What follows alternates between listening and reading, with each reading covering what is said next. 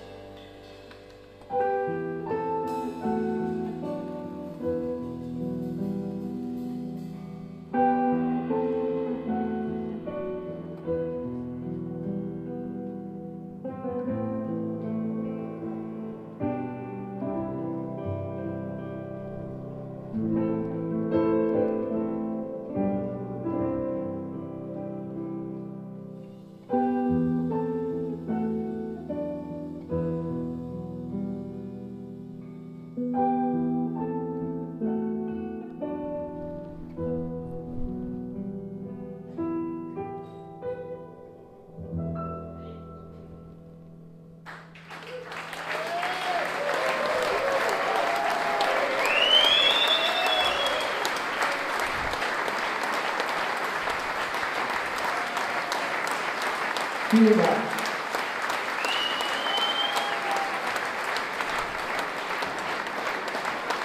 Vielen, vielen Dank.